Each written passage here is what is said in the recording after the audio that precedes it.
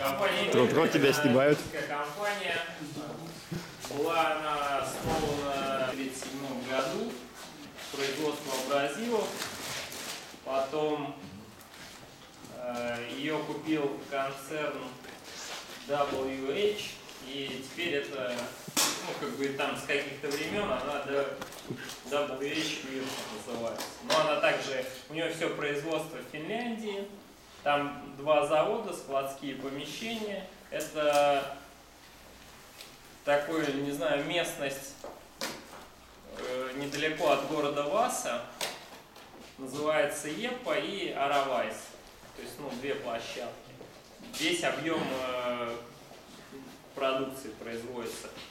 Немножко расскажу. Э, Машинка Церос. То есть это такая довольно инновационный инструмент. Э, Начиналось его производство с э, эксцентриком 5 миллиметров. Ну вот, и линейка расширена 2,5, 5 и 8. И есть, это 150 машинки, есть 125, она только с эксцентриком э, 5 миллиметров. Если говорить об инструменте, то у него э, конкурентов нету аналогов.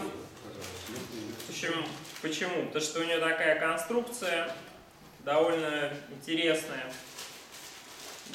Бесщеточный мотор небольшого размера. Он же является единым целым с осью эксцентрика и балансиром. То есть, ну, все это маленькое.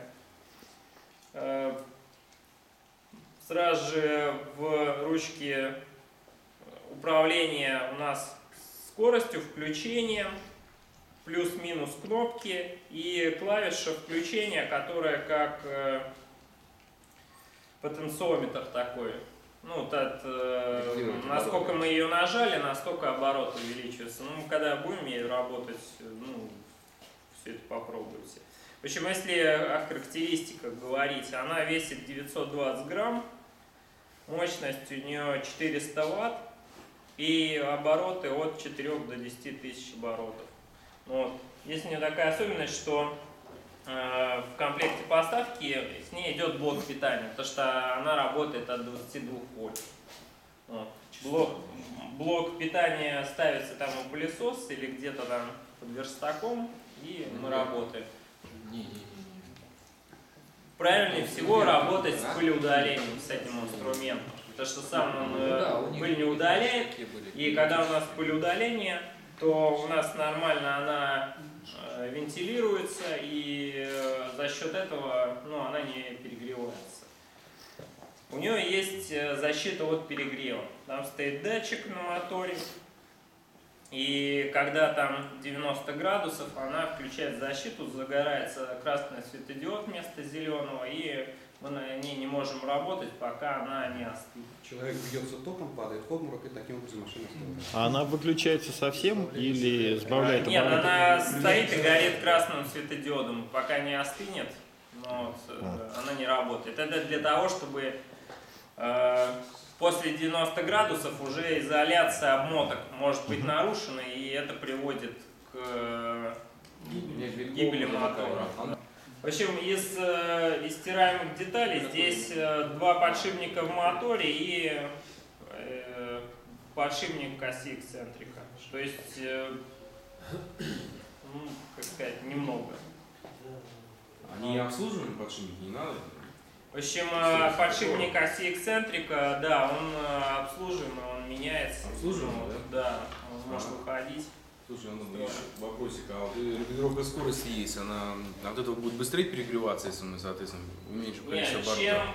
чем на больших оборотах мы работаем, тем на него нагрузка выше.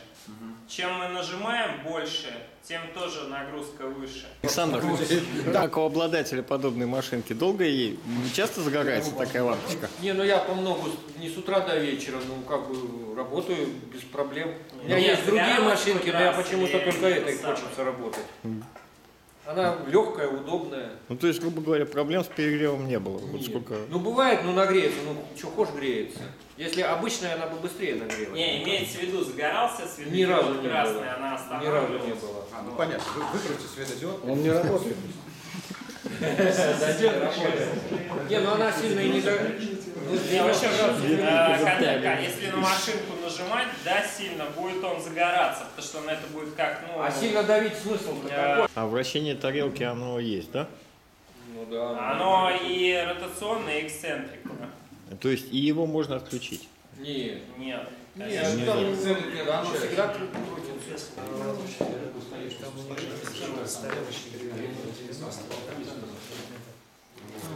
Так, очень, очень удобно, да.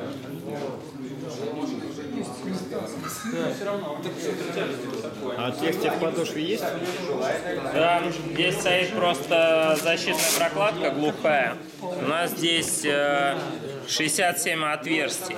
То есть э, 6, 9, ну как бы 8 плюс 1.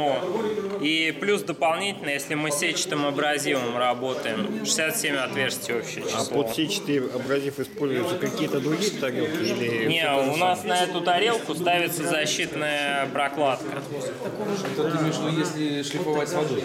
Если вот это ставится, если мы шлифуем с увлажнением, чтобы у нас внутрь инструмента не попадала влага. раз, почему? Они у вас есть в наличии? На Э, складе. и- Их могли там, ну, сгрузить э, 100%, но по идее они должны быть у нас э, на складе. Потому что эта позиция такая, ну, грань буквально. Это защитная прокладка, но вот ставится она на инструмент, когда мы работаем с сетчатым абразивом. Сейверпад. Да, под север. Под север. Ну вот, э, потому что у нас есть особенности, да, сетчатого абразива. Как? В общем, э, сетчатый абразив, абронет. Ну вот, Мирка является изобрет- изобретателем э, сетчатого абразива. Ну вот, и она первая, ну, как бы мало того, что она его придумала, она наладила технологию по его производству и довела ее до такого, чтобы, ну, все можно было использовать, это было товарное. Так это патент, правильно у вас? Да, да, это патент. А пластик, полиамид, А, сетка полиамида, да? да, да, да, материал полиамид. Э, абразив на ней нанесен не то, что он там насыпан, а он вот такими как бы полосками нанесен. С этой стороны у нас э, крючки вытянуты из полиамида. Вот. И чем у нас все это интересно? Что вся поверхность круга, она является пылеудаляющей поверхностью. То есть у нас нигде не скапливается пыль, мы на ней не елозим, не катаемся. Отпихнуть можно, да, удобно? Но при нормальном пылеудалении это все засасывается через инструмент э, в пылесос. Но есть, Я знаю, да. есть особенность, да, еще нам под север мы подошли к той мысли. Когда у нас пыль попадает на поверхность тарелки, она по ней идет до пылеудаляющих отверстий, подспескоструивает как бы крючки и выходит из строя тарелка. Но когда у нас стоит э, подсейвер, то есть у нас даже если крючки на нем и стерлись там после скольки-то ну, там, часов шлифовки, там, десятки, или там, ну, вот, мы его берем, Ну, отклеиваем стоит, да, конечно. и, и, и выбрасываем. То, что он стоит там 80 рублей, если А я ошибаюсь. тарелка там а тарелка, да, полторы Ну, тысячи. теоретически его можно поставить на любую машинку. Он такие же функции будет выполнять. Ну, там пылеудаление будет чуть-чуть похуже, потому что не будет, например, Ну, такого ш- количества. 67 отверстий. Ну, вот, но поставить можно. Ну, вот. У нас есть, кстати, для фистуловского инструмента тарелки. Они, конечно, ну, не такие изящные. Ну, вот. Ну, такие. Здесь переходник ставится, это все прикручивается. И она там не 2200 стоит, а там 1400 или 1600. Чего переходник Это, это, это прямо на фастовскую машинку берем, э, нормально подходит все, да? Ну, Зато ну, новая приятная информация. Вопрос, Переходник я сейчас, я не помню, у меня где валяется. помню, ротор 150 Нет, нет, Да что нет, тут- все, это, это, это на машинку ставится на Фастуловскую и вперед. Там еще переходник должен быть. Это, за, это замена подошвы. Ну да, это замена подошв. Только значительно дешевле. Ну, да, дешевле. Ну, не значительно, ну, значительно, да. Причем они есть помягче и пожестче, ну, с этим серое и черное. Вы на гейметре проверяли эту подошву, нет? Потому что фастуловская А подошва вы, жесткая. вы, наверное, человек, который любит проверять подошву. Да нет, весь форум знает, что кривая подошва у Это фастула Савлин, твердая. это Савлин у нас очень любит линейками их проверять. Да, все знают. А- Я а- по- пока он не Андрей- сказал, Андрей, я, Андрей я Топихин не мне знал. говорил, что есть какой-то человек. Да-да-да, Сергей. Или кто, или кто. Это он про Сергея, да-да-да, точно. Понятно. Так что ждем твердую подошву. От Мирки для фастула. Ну, честно говоря, твердую очень редко использую. Да. Не-не-не, по- полезная штука вообще. Что, давайте тогда это самое пятерку включим. И на самом деле показатели маленькие. В общем, э, у Мирки разные абразивы, они для разных целей. Например, Ну да, и э, должна быть какая-то Абронет, он довольно ну, универсальный там, для деревообработки. Там у Silver и Gold, ну Gold это больше автомобильная тематика. У Silver он такой и вашим, и нашим. Ну вот. Э, Altimax это новый продукт. Вот, он для обработки жестких пород дерева. То есть он еще довольно такой агрессивный за счет того, что он ну, проряженный вот этими кружочками. Ну вот, э, Abranet HD это для таких, ну, жесткого снятия, когда нам надо, ну, что-то, да. Ну вот. Э, Course ну, сложно мне сказать, э, деревообработки там для чего. там, Я что. звонил, мне сказать, что для твердого дерева. Да, универсально, это же кружки универсальные, скорее всего. Слушай, тогда надо с Сильвером сравнивать же, да? А? С Сильвером надо сравнивать тогда. Если Сильвер единственная наждачка и вашим, и нашим. А вот эти вот все для дерева. У Мирки тогда Сильвер более-менее для нормального дерева. Подозреваю, что все-таки вот это, наверное, ближе всех. Стой, покажи. Да не, не. Стой, это для твердого дерева, я понял. Вот это вот. Да нет, по-моему, такая же, как это очень. Носите. Включается она вот так вот. Ну вот. То есть у нас есть клавиши, на которые ну, выставляют. То есть плюс и минус каждое нажатие это шаг э, 1000 оборотов. Ну вот, просто ну, мы подгоняем, это может даже во время работы менять. Ну вот, и клавиша, которая как потенциометр. То есть вот я ее понемножку на... нажимаю.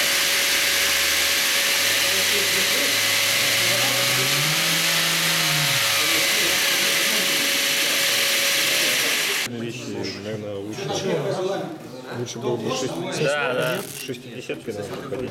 Да не надо, ты что, это быстрее 80. 60. 80, 80.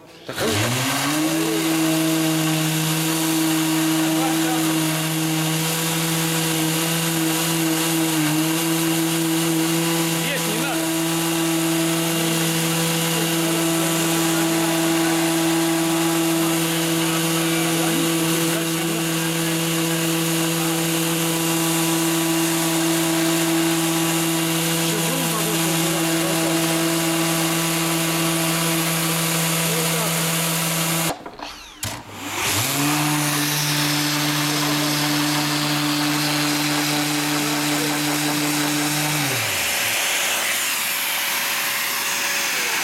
Смотрим.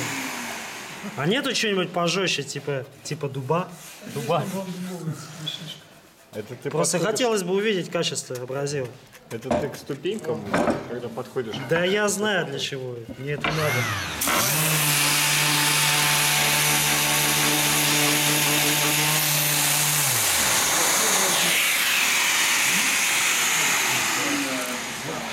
Это больше. А дайте мне Мирку. Дайте ему мирку.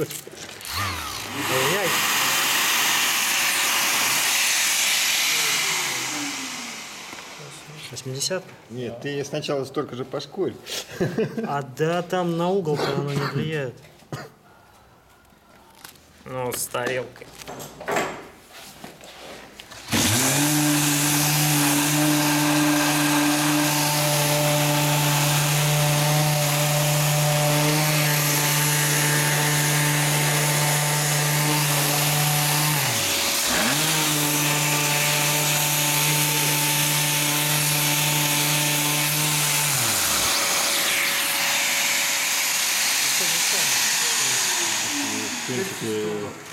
Выглядит получше.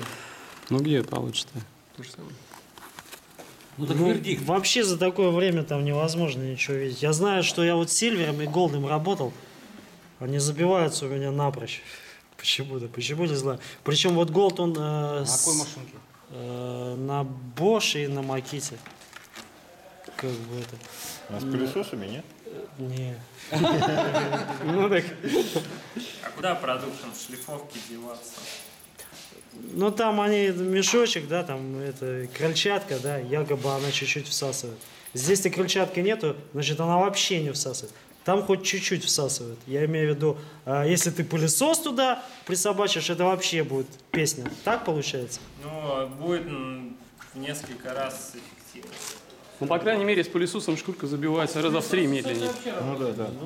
Реально. Но сетка вообще не забивает. Сетка тоже А без пылесоса? Не, не, не надо. Не, можно потрясти, побить. пошли. А как определить, а все, она умерла наждачка или нет? Типа посмотрел, вроде не шлифует. Так и нет, Так? почувствуешь. Тут ты там посмотрел, о, типа, Это все. надо как в Тифале, знаешь, когда термоспот красный, а как долго штуку снимаешь, пыляешь на другую. Слушай, надо же, если уж мы поставили эту самую, Ну Артем, я думаю, а? взял, взял в руки машинку, Ну, давай вот это тогда попробуй. продолжай. Вот это вот совсем другое должно быть. Я думаю, вот э, сосновый щит э,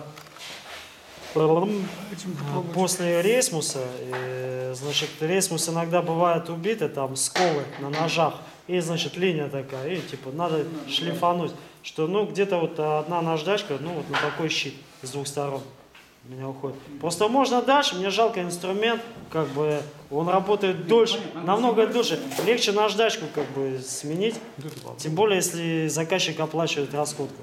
Поэтому, как бы... Уже тут чуть-чуть хоть загибается, если наждачка выходит за пределы тарелки, она чуть-чуть загибается, и ты видишь. А э, вот так вот э, на- за такой короткий промежуток времени на таких площадях, ну невозможно. Хороший образец, хороший, этот хороший, да, этот хороший, все как бы хороши.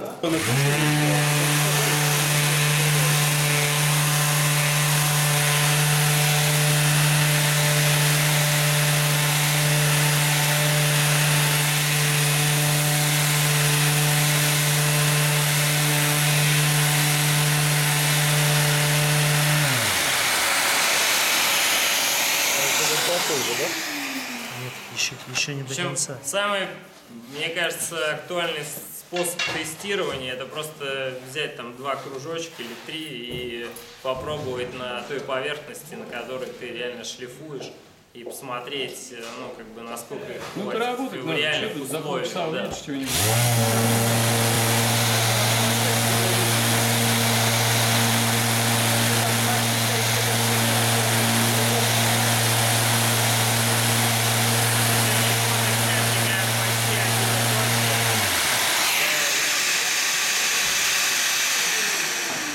Это что сейчас ставить? Сетка? Да, А сеточка. номер какой? 80 Кажется, вот такой поверхность лучше 60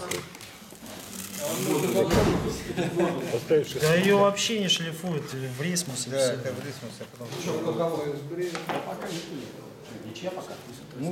Непонятно. Давайте на машинку сядем.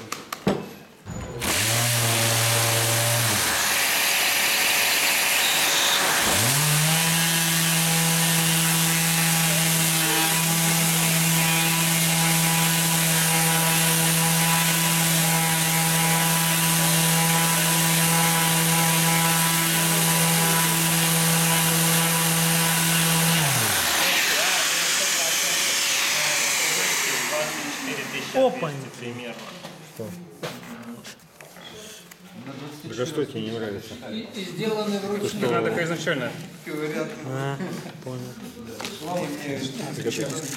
И что это было? Это фестовская. Ну, чем, очень чем они отличаются? На, будешь Они отличаются материалом, из которого они сделаны. То есть Ну, можно разный полиамид. То есть в Абронете он более ну, дорогой, то есть более эластичный такой там. И в Абронете 6 размеров сетки. То есть, ну, размеры ячеек. То есть э, самые крупные на 80 и пошли до 1000. Ну Вот, и в автонете от 80 до 800. 800 крайне. Ну, я, по крайней мере, вижу, что вот те все виды изменились, это нет. А вот Абралон, чем вот от автонета, допустим, того же? Абралон он для финишной э, обработки. М. Ну так тут уже, конечно, что-то Наверное, для 2000. Для- По металлу. Но, наверное, да у меня есть. По лаку мы же. Край. Ла- лак, скорее всего. Но, Лакированная почему- поверхность. э, Он, он он э, на основе поролона. С этой стороны у нее ткань, она велкро называется, нанесена. А с этой стороны тоже ткань, и на этой ткани размещены абразивные частицы. И за счет того, что они на волокнах ткани размещены, абразивные частицы, они имеют какую-то степень свободы, в отличие от вот такого абразива или вот такого. Здесь у нас есть поверхность, и на ней четко стоит э, абраз- абразивное зерно. Здесь оно имеет как бы, ну, такую подвижность. То есть она как щетка. Ну, вот. И она по-другому влияет на поверхность. Это для, фини, для финишных вообще э, каких-то операций там. Ну, для грунта, для лака. Да,